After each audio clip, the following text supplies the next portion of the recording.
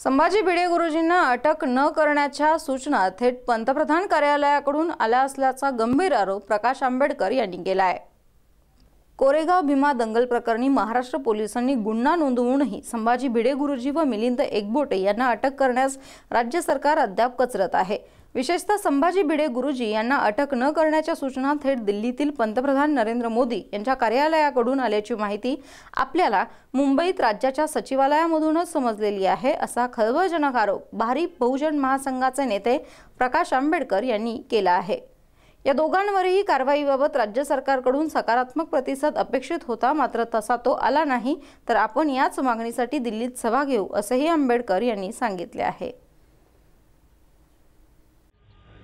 एक मेसेज असा फिरतोय की पी एम ओचं जे ऑफिस आहे त्या ऑफिसमधनं संदेश आलेला आहे की संभाजी भिडे यांना अटक करू नका. मी असं समजतो की असं मेसेजेस पाठवणं हे चुकीचं आहे. कायदा हा सर्वांना सारखा आहे.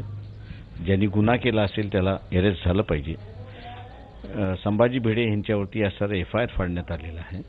नॉन बेलेबल चार्जेस लावण्यात आलेले आहेत. तेव्हा त्यांना अरेस्ट होणं हे गर